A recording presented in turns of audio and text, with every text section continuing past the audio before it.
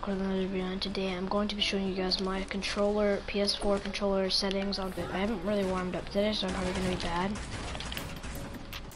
I'm going to start off with my sensitivities, so if I go to settings, here's my all my sensitivities. That's for my mouse, but so each wireless, each controller is 700, which I feel like is the best for me. It's not too high, not too low.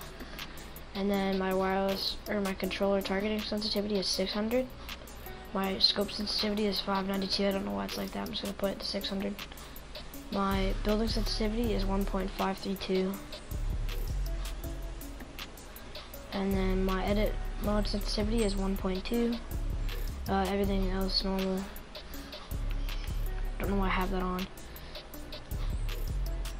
La, la, la, I usually like to turn this down a lot, but yeah. So th those are my basic uh, sensitivities. And then moving on to my combat. So it's on custom, but honestly, it's literally just Builder Pro. Yeah. And then same there, just all build the pro stock. And then here's my dead zone.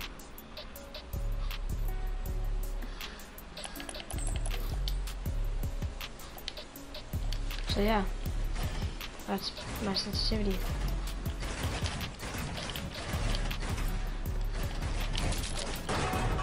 That was so scary. So yeah, thanks for watching guys. Make sure to subscribe, like, and uh, drop a comment. and another thing I want you guys to do is um I'll uh, I don't uh, in the side of my channel there's a friends chat there's a friends place and shows all my friends. Go to Lotus Dark and spam his video comments with let your boy Golden into Lotus Clan. Okay guys? Alright. See you guys later.